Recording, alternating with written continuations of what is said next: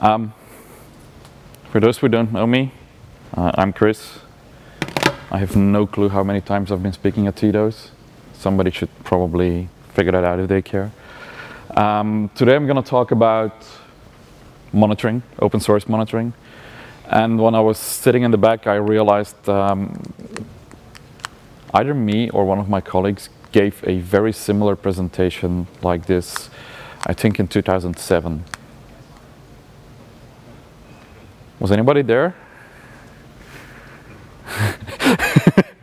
the guy in the back recording was there, yeah, and a bunch of others. Um, so it could be that there's a couple of things you already know. Uh, I've also given pretty similar talks like this, I think last year the keynote at the Open Source Monitoring Conference in Nuremberg, and I guess probably at some other places too. So there will be redundant topics, but if you haven't seen this, then it's new for you. Um, my background, I've been doing this open source thing for the better part of the last two decades. Um, I'm one of those people who sits at Linux conference and figures out, fuck, I've been doing this thing for 20 years. Um, and my background is operations and development. Uh, somewhere along the line, I started DevOps days, which has completely gone wrong these days. Um, you know, commercial idiot vendors, incompetent people thinking they know what they're doing. But, but fundamentally what I'm still trying to do is helping people to deliver software better, faster, stronger. Um, I'm the chief travel trolling technical officer of one of the larger open source consultancy companies in the Benelux. Uh, Inuits, we're um, somewhere short of 60 people in Europe with offices in Ghent, Brasschaat, Rotterdam, yes we're hiring, um, Prague, Brno and Kiev.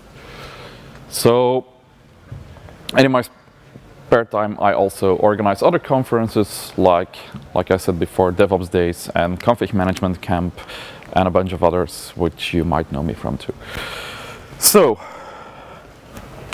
this is, as you know me, a pretty opinionated talk about monitoring tools and what the open source landscape currently does.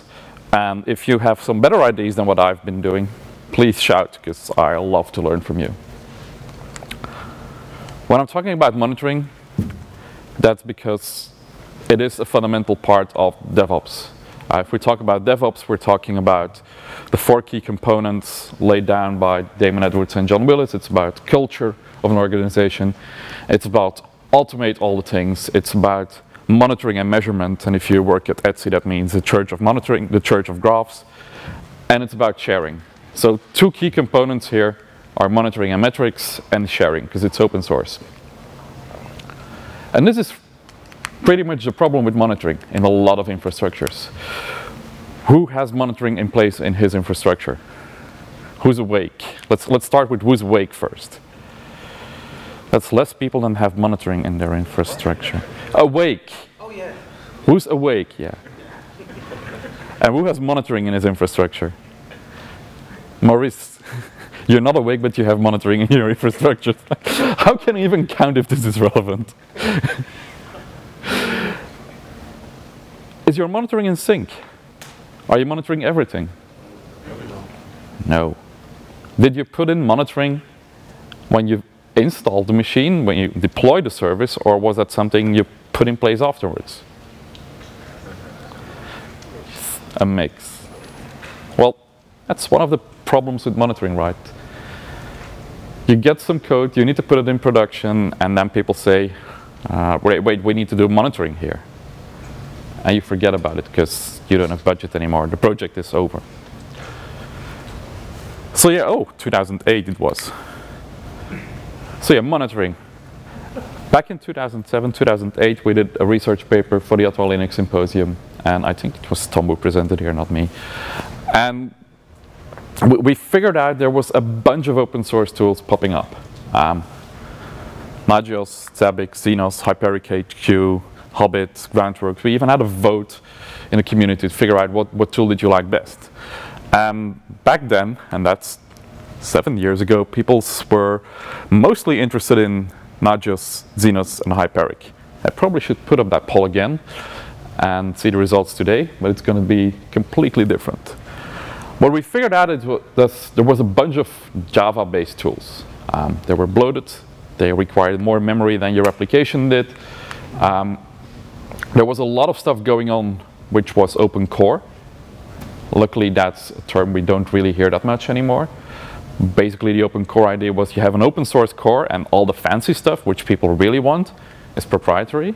So you could build something half-baked, and then when you really wanted to do more, you needed to go to the upstream vendor and say, here's my money. And they could screw you like any proprietary company ever before. And there were a bunch of tools that were pretty good, but they had scalability issues. Um, tools like back in those days when you were running Zabbix with more than 100 nodes, you needed a dedicated MySQL DBA to tune it and make it scalable. Um, I think now the figure is up to 200 nodes. So it's not really an improvement. And, and if you look what the do-it-yourself boys did, what people who were actually running and building large-scale infrastructures, they were pretty much stuck on Nagios.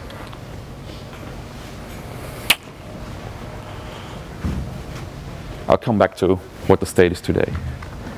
And then somewhere June 2011, uh, John Vincent lusis on Twitter. He was so frustrated with monitoring that he started tweeting out with the hashtag monitoring sucks. And if you can read it down there, um, it's not that they thought that everything about monitoring sucks, but there was a large part of it which he didn't like. Um, the way we had to set up fake configurations for nodes, the way how we were collecting stuff three or four, and in some setups we were collecting five times the same data to do both alerting and graphing and all those things, and that's still not being solved. And, and we kind of started a sub-movement for the DevOps movement, which, in my opinion, still is a sub-movement of the open source movement, so now we have a sub-movement of a sub-movement, which is called the Monitoring Sucks movement. And that's a group of people who started to build new tools, who started to leverage new technologies to improve the state of monitoring. Um, we set up a GitHub repository where we started listing all the tools we liked and all the tools we hated. And that repository started growing. We started adding new tools. So to give you a, bit of background, why did we think monitoring sucks? Well, we had to manually configure a bunch of those services. I'm going to post the slides anyhow, so you can take pictures as much as you like, but if slides will be online, so you can read them at much better quality. Um, we had to manually add nodes or resources to the platform. Uh, basically, that meant that when you start to do monitoring, you add five nodes, then you forget one, then you add 10 more, then you forget 20. And at the end of the month, you have about half of your infrastructure which is being monitored. Some of the tools supported hosts only. We were just doing ping checks. We didn't really look into the actual services because we didn't have time. And looking at the state and the health of the application services we're running on was pretty much never in happening. The other part was that because we also forgot to decommission hosts, basically when we decommission a host or a service, alerts start popping up which are never being removed. So you, you end up being in situations where there's 3,000 nodes being monitored and there's 500 of them being in, in, in error. Who recognizes these kind of setups? Bunch of hands. Bunch of more hands. Hmm? What? Nothing is ever green. Hmm, nothing is ever green. I don't agree with you. Well, not, not where I work. Not where you work. Karen, did you ever see completely green dashboards in the time you were at Inuits? Yes, you did. I know it is possible. It's about culture. It's about not tolerating alert fatigue. It's about fixing your platforms in a manner. It's still hard, but it's doable. So when I'm talking about solving monitoring, I'm going to forget about a bunch of tools because they won't be able to help me. And yes, there's a fine print there if you are looking at a setup which is smaller than 100 nodes. Ah, a bunch of those tools become relevant again. But I really don't care about tools that don't have a stable ABI, that don't allow me to configure stuff automatically. And I really don't like tools that focus on the GUI and want to build an all-in-one set where, well, only small part of the functionality really works. So what do I want? We had a great talk about the history of Unix yesterday evening. And in, in a way, that's where we want to go back. Um, these are the results from, from a discussion we had hmm, a couple of years ago at our office. After FOSDEM, we organized a monitoring hackfest. Uh, there were people from all over the world working on monitoring tools. I'm not sure if anybody of you was in there. No, I don't think so. We had people from Spotify, we had people from um, back then Sensu, we had people from a couple of other tools at our office, and we were two days after FOSDEM discussing what do we want from a monitoring tool? How can we build a platform that really works for everybody? And we figured out that there's a bunch of components in monitoring tools we need. Um, we need a tool that is capable of collecting the data, collecting the state of a system, collecting the metrics out of a system. We need something that takes that data and transports it somewhere. And maybe along the way also modifies it, drops the information we don't want, unifies the namespaces and, and that stuff. And then we need a tool that stores that data. And what we see is there are usually two types of data we care about. It's time series databases. What was the that value at such and such point in time? and actually data stores where we can keep logs and a lot of interesting data. And then the other thing we need to do is analyze that data. We need to look at those metrics. We need to figure out if this metric is good or right, or if it's too high or too low. And based on that information, we need to be able to act or alert, and we need to be able to visualize that to people who want to look at dashboards. So we started looking for those tools. And somewhere in, in October, November 2011, Ulf Manson, I'm not sure where he is now, but he was with Recorded Future back then, um, gave an Ignite talk at DevOps Days Rome. And he had all his slides drawn by his children. And he was talking about yeah, John Vincent started talking about monitoring sucks, but I, I love monitoring again. I found a new bunch of tools that allowed me to really monitor my infrastructure. In his case, that was Sensu. But there was also a bunch of other tools popping up. And we did the hack sessions. Um, people started organizing Monitorama, which was a new kind of conference targeted really at open source monitoring tools. And we saw that people started to love monitoring again. And we started having setups where we did, on the left part, the data collection. You're not seeing this right. Where's the pointer? On the left part, the data collection with a bunch of tools. Then we ship it with a bunch of other tools. We store it in time series databases, Graphite, that's the um, OpenTSDB. And then we do a bunch of other things. And we started building, based on open source tools, stuff that actually did what we were talking about. And then we started having this. Well, that's the more complex version. So after one of my other talks, one of the guys in the audience came up to me and said, yeah, we're using everything you just mentioned and it still doesn't work. Because, yeah, they were collecting stuff, but they were never shipping it. They were doing it everything wrong. So, how does it work?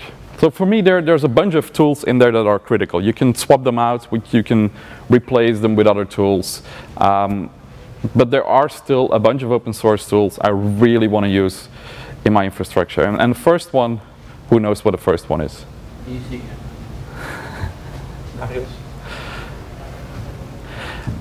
So we're in the Netherlands, so I think Nagios is still legally allowed to be said, but in Germany it's not even allowed anymore. um, yeah, the, the, the, first one indeed is Icinga. It's uh, a Nagios fork. Uh, it was forked in 2009. Uh, to me, Nagios is dead. That might have something to do with actually meeting Ethan and him ignoring me in a meeting. Um, but it is, in a way, a Europe versus US thing. Uh, the guys forked the code. There were other forks later from modules because basically he, what's an open source community if you do not take back in the submissions from other people? It's a dead community. Um, it's different with the Icinga people. They have a bunch of people who contribute patches. They are really happy to accept them. They organize great parties. I mean, I run into those guys every single conference. Might also be that they stalk me, but I see them a lot. Um, and it's something which you can easily automate. So if you talk about automation, if you talk about running a large-scale infrastructure, who's deploying his infrastructure manually? More than two nodes? No. Okay. To me, if you run a large-scale infrastructure and you're doing it manually, well, that's wrong. There's a bunch of tools out there that can help you do automated infrastructure. Um, mostly thinking about stuff like Puppet, Chef, uh, and a bunch of others. And if you map monitoring to automated deployment and configuration management, you end up having applications that are in sync.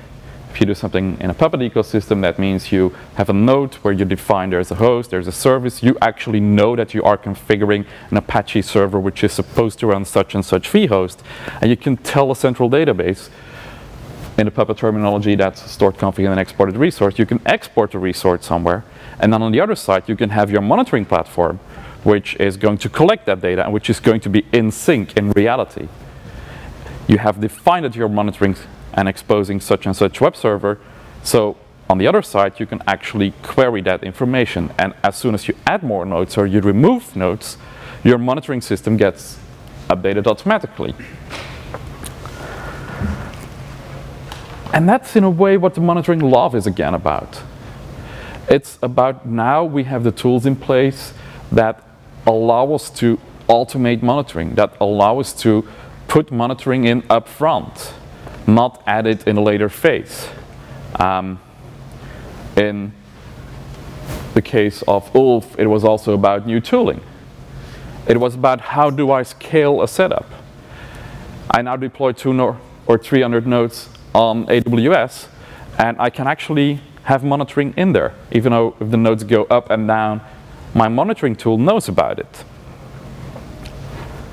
So he found a way to automate monitoring and to actually have it scalable. Up till the point when if you walk with them downtown in Stockholm, you start discussing how many metrics you throw on a RabbitMQ. And if you want to have that clustered, it's also going back downhill. But then again, how many unicorns have that problem in Europe? Uh, we don't use the cloud here. Does anybody in Europe use the cloud? Who's on the cloud, public cloud? Public. Who's using the public cloud here? Do we have a public cloud? Do we have a public cloud here? Oh, that's a really good question. AWS, whatever, DigitalOcean. Who's using it? Typical European audience. Nobody. Is that right? Is Europe, you know, the cloud? Yeah, we don't do cloud. We're smarter than that. don't try that joke at the American conference. So, this is the fundamental part. There's a new era of tooling, and it's mostly the fact that we can automate everything that's bringing back the joy in monitoring. We don't need to go to a crappy web interface from IBM or HP and click, click, click and figure out, hey, this thing is, is broken. We don't need to write a bunch of scripts in a crappy language which vaguely remembers re resembles Python and get over it. No, we, we've automated it and now we don't need to write the configuration files anymore. So that brings us to the next problem we had with a lot of those tools. People were monitoring services. They were just checking if the web server was up. They were checking if there was a page there. They were not actually checking if the end user was still capable of doing stuff. They were not talking to the actual application? Was that application still returning what it was supposed to? Um, if you have an application that does calculations and it was constantly returning 1 plus 1 is 3, traditionally you're monitoring setup with, yeah, I got something back, it's okay. But in a lot of cases, you didn't know what it was supposed to return because your developers were somewhere, I don't know. So we saw that developers writing applications were working in Scrum styles, and we figured out that they were completely forgetting about monitoring. They were not exposing metrics, they were not exposing health pages. And one of the things we started doing was adding in their definition of done, well, done means it's monitored. I can actually query values from your application and not just from Apache or from JBoss or Tomcat. I know that your application is working correctly.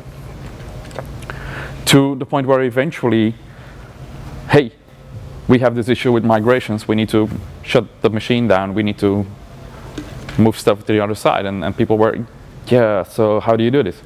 Well, typically what we do if we move stuff from one data center is we put on the firewall, we wait till people complain, and if nobody complains, we shut it off and move to the other side. Why? Because we don't know if people are actually using it. Okay. So you have no metrics and usability either? Nope. So that's when you start talking with the developers a bit further and say, look, we need to have metrics, we need to figure out if people are using it, and your work is not done until your last end user is dead. So we really need to measure all the things. We need to really measure usage, state of the application, inside the application, every single bit. And I want to know about a deployment of an application. I want to know about the life cycle of the application. And I want to be able to map that to metrics. So when I do a deploy, I want to see a metric. When I know all those things, then I can actually easily migrate and even automate my migration because I know that for the past 10 minutes there have been no connections to that application. So move it to the other side and nobody will notice. Still, that's poor man's HA. I still prefer to build in a bit better style, but for a lot of companies, that's already a lot. So how do I start doing that? That brings me back to one of the first components I need. I need to be able to collect data. And one of my favorite tools there is CollectD. CollectD is a daemon that runs on my machines. It has a zillion plugins. It talks to pretty much all the services I know. And if I need to build more functionality into, I can do it in pretty much all the languages I like. And by default, it's going to expose me a bunch of things I care about. It's going to expose me metrics on my CPU, on my memory, on my network, on the load, on all the things you typically care about. The way I set up CollectD is that I flush all my data to another tool, Graphite. So on top of that, I can have a bunch of developers who use libraries like the Coda Hale metrics library and a bunch of others to send their metrics there also. And what I have now is pretty much self-service dashboards. Um, this is GDash, where we're basically replacing GDash with, with Grafana these days. But this tool gives developers a fancy interface to their metrics. If a developer now has an idea about replacing it with Grafana, as I said, that's the next slide, this tool basically gives people an easy way to create a metric, create a dashboard, a graphite from any metric they care about. If it's number of people using the platform, if it's signups, if it's conversion rate, if it's the anything they can think about. They send the metric, it's really trivial, and they start building dashboards. They start building their own dashboards. Up to the point where they put in business value inside the coffee room where the CEO can see it. Um, couple of weeks ago, I was at a customer. They were talking about buying one of those expensive proprietary application performance monitoring tools. The vendors were in the room. They were already discussing the negotiations, already doing the pricing and terms conditions. when we figured out about those negotiations, and we were like, why are we having this discussion? We've got everything in place. What do you mean you got everything in place? Yeah, we've got Graphite, we've got Grafana. The only thing we're currently missing is the actual metrics from the developers.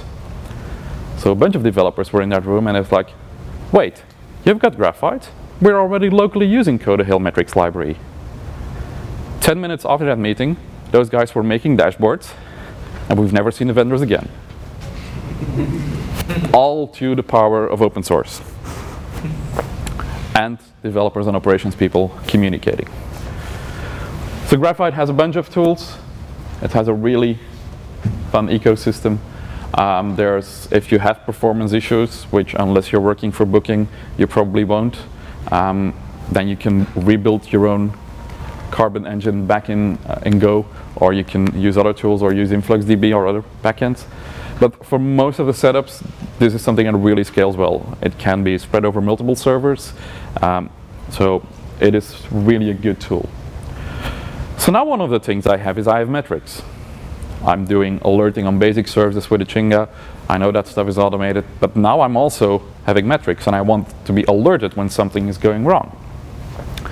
And one of the typical cases where stuff goes wrong is an example I like to use is queues.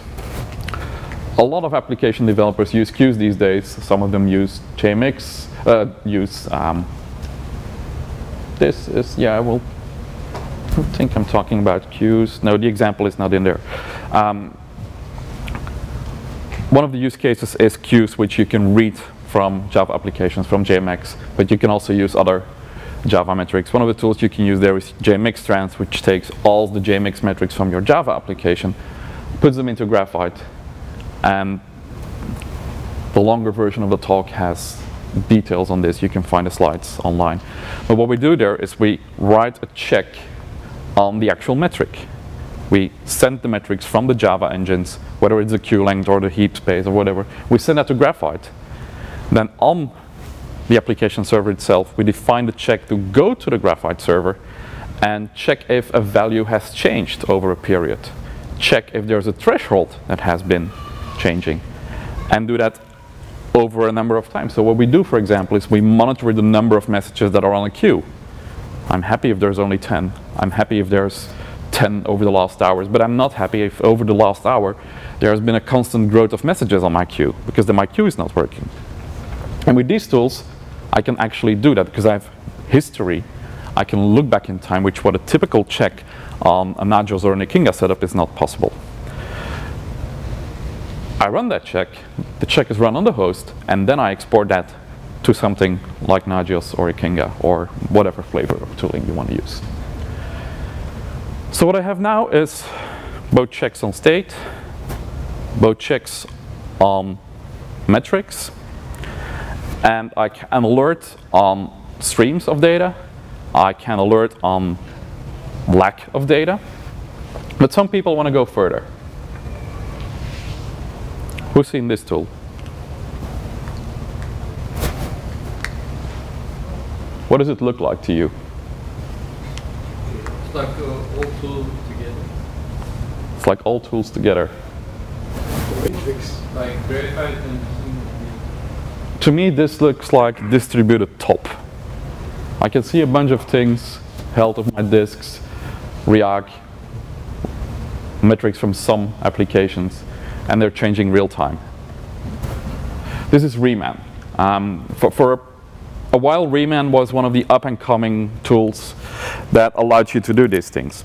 Um, and, and it is a powerful tool, but I'm not liking it.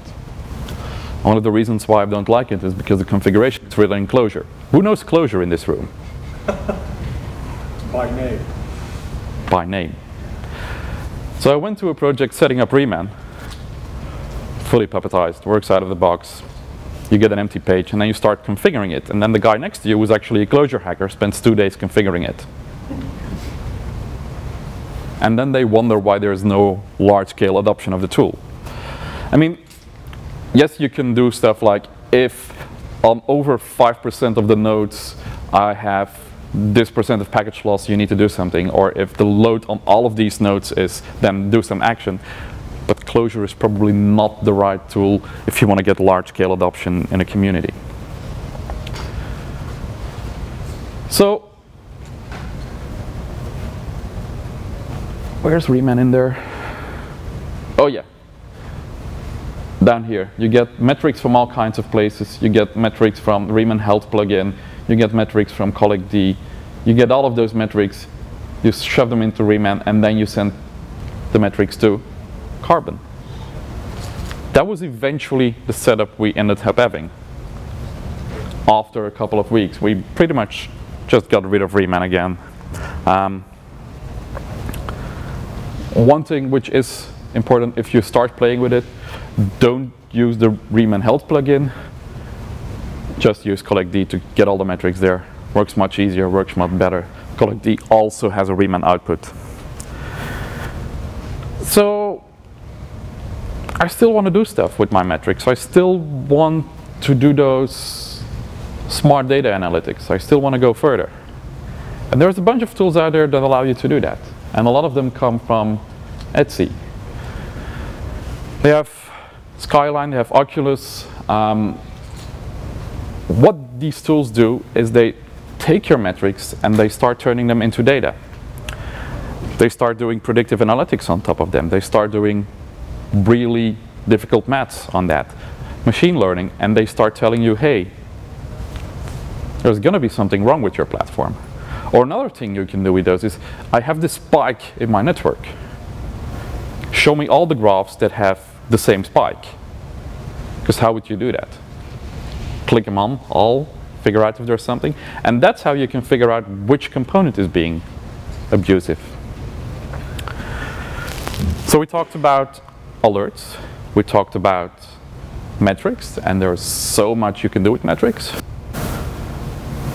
But you have log files. What do you do with your log files? Sorry? Ship them You ship them. Where do you ship them? to the central server. To a central server. Why am I giving this talk if you already know it? who's not shipping his, who's not reading his log files? Ah, don't have you don't have log files. How do you work without log files? Okay, no log files, fine. So yeah, log files. I think up to like six, seven years ago, log files were the place where you only went to look when stuff was going down, stuff was breaking. Um, but there's so much more in there. And indeed, stuff like syslog and rsyslog, you can ship them somewhere. So people started shipping logs somewhere. And then it was only one disk that was being flooded, rather than all the local disks. But then these kind of things popped up. Who recognizes this?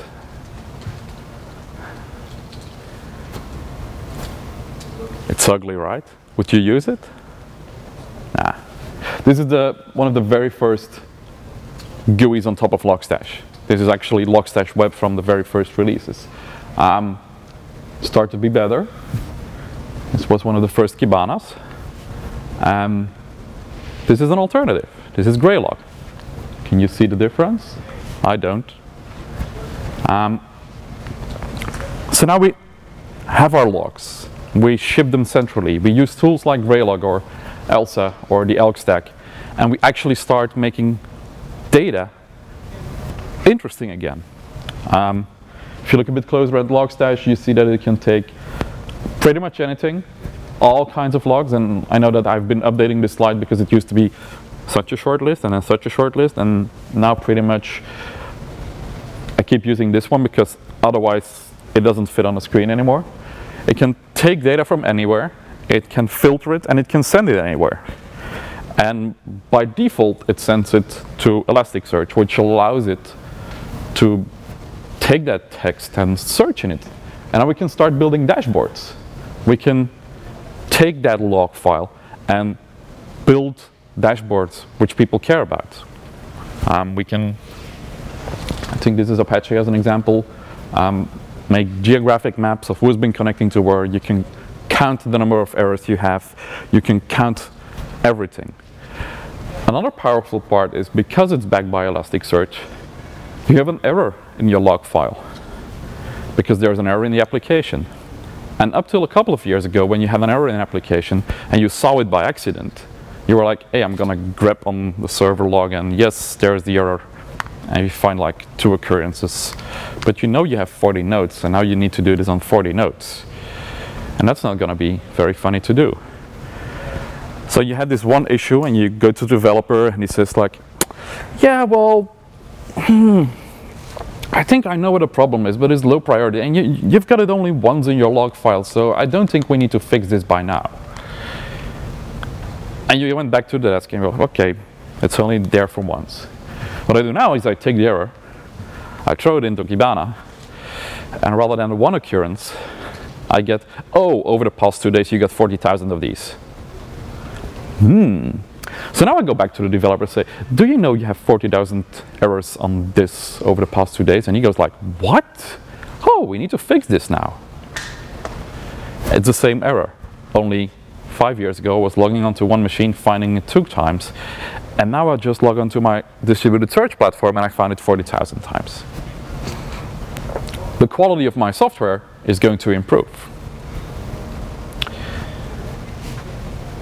So what about that thing called application performance?